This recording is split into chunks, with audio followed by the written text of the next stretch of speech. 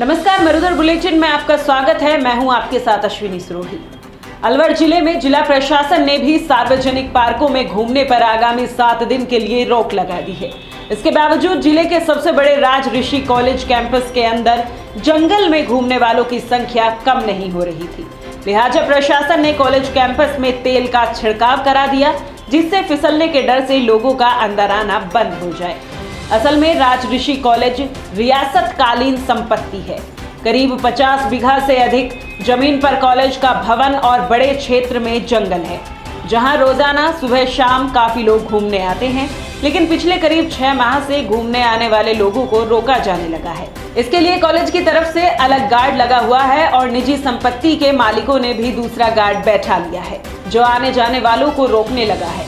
इसके बावजूद लोग नहीं रुके तो आखिर में तेल का छिड़काव करना पड़ा। गौरतलब है कि पहले राज ऋषि कॉलेज का भवन राजा का महल हुआ करता था। मौजूदा समय में भी संपत्ति का राज परिवार ही मालिक है, लेकिन केवल एक रुपये के किराए पर पूरी ज़मीन राज ऋषि कॉलेज को दी हुई है। बता दें कि प्रदेश सरकार ने एक दिन पहले ही अलवर ज़िले में नाइट कर्फ्यू लगाया है। वहीं जिला प्रशासन ने सात दिनों के लिए सभी सार्वजनिक पार्कों में लोगों के घूमने पर भी रोक लगा दी है। सोमवार सुबह शहर के प्रमुख कंपनी बाग और नेहरू गार्डन में लोग नज़र नहीं आए।